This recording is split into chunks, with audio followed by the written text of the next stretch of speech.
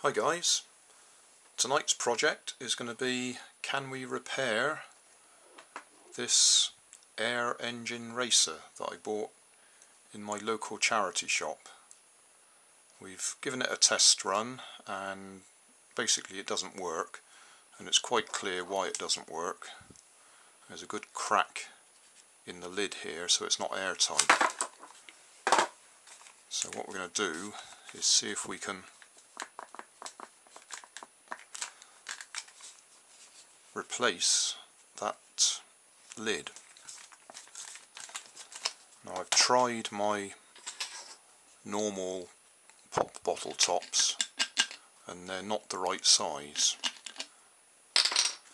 So the next option is if we can't find the right sized lid to fit on there, can we use a different air bottle? So what I might try is this soap dispenser because I've used one of these before for one of my own airjet cars. So I'll empty this out take it apart and see if I can use that well in fact the whole thing but see if I can fit the motor onto that lid and then see if we can get it going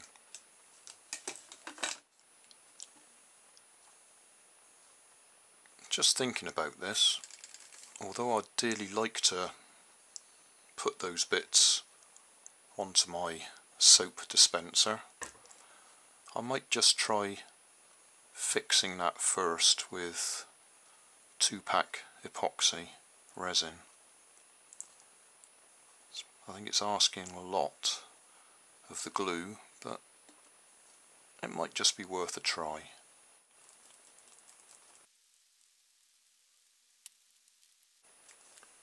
Just opening it up, opening the crack up a bit to try and get some glue inside the crack.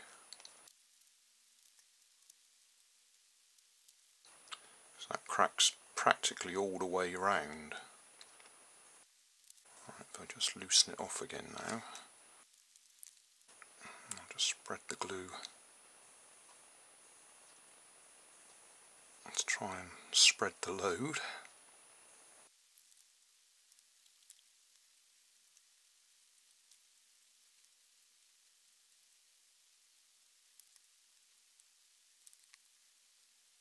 Right, I'll just hold that still and wait the five or six minutes it takes for it to dry. Right, let's see how hard we can pump this up.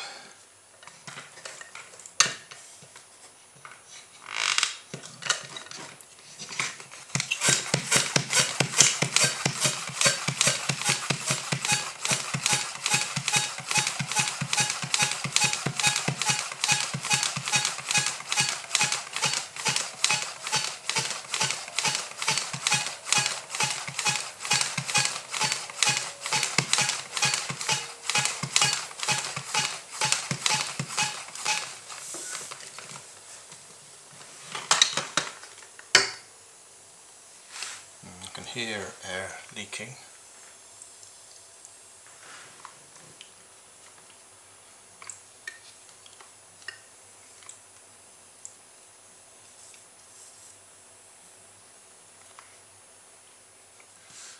I'm going to put it under a, in some water to have a look I think.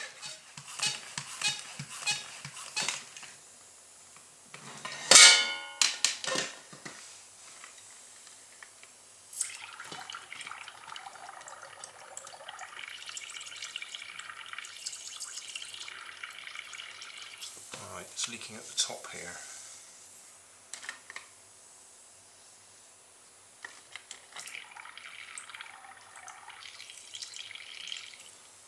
So, need some more glue I think. While we're waiting for the glue to dry on the new car, I'll just go through these three other air jet cars or air pump cars all bought from charity shops in the past. These two I'd actually rated as garbage because I couldn't get them to work. They didn't come with a pump and when I tried to use a foot pump and an adapter I just couldn't get them to run. But I've tried them with this pump that's come with the new car and they run brilliant. So I'm going to have to review my original review. And then I'll tell you about this one in a minute. So we'll try and pump this one up first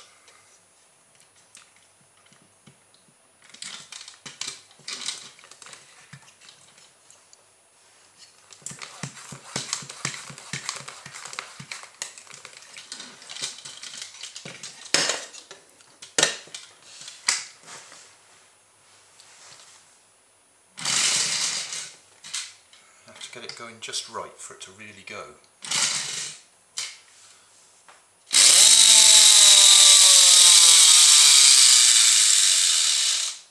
See it clearly goes but I've got to get it to do that on the floor. One, two, three, four, five.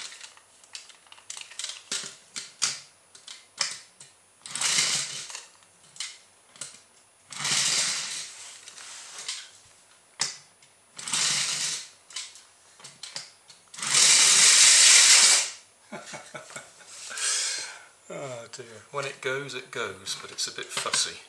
Right, let's try this one.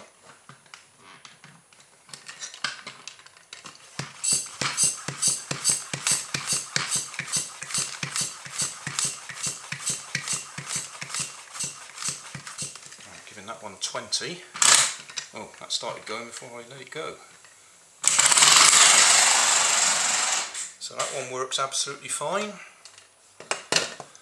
And third one doesn't need a pump. This one got a gold rating from me when I first tried it, 75 pence, and it comes with its own pump.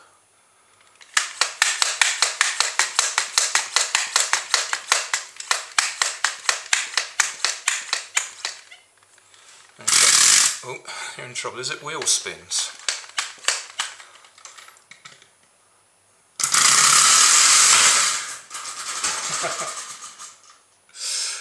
so, got three working air cars. I wonder how the glue's coming on on that last one. Right, I've left this for an hour or so for the glue to dry. So let's see what we can do.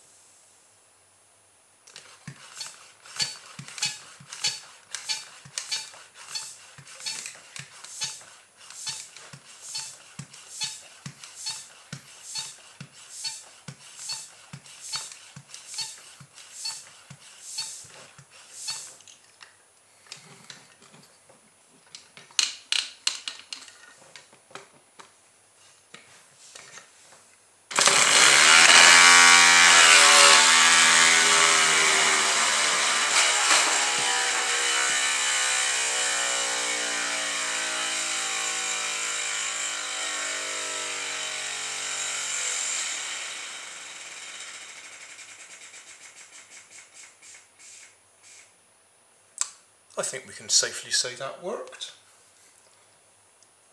I might have had it pointing the wrong way to begin with, but uh, that's a success, isn't it? Just very quickly, it did actually run backwards when I did that just now, so I'm just going to see if I can make it run the right way round. And the answer's yes. Summary time.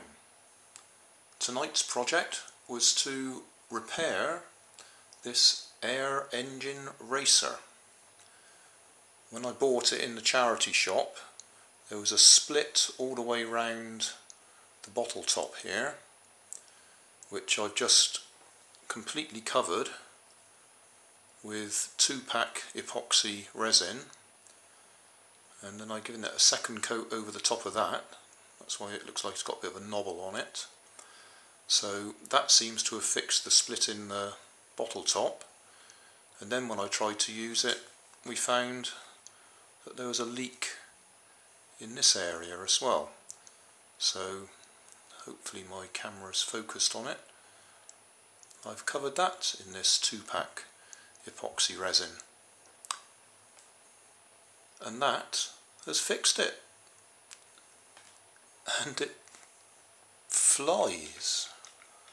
Well, it shoots down the kitchen anyway. Interestingly enough, in the instructions it does actually suggest you try putting wings on it and see if you can get it to fly. So that might be a future project. See if we can make this power an aeroplane.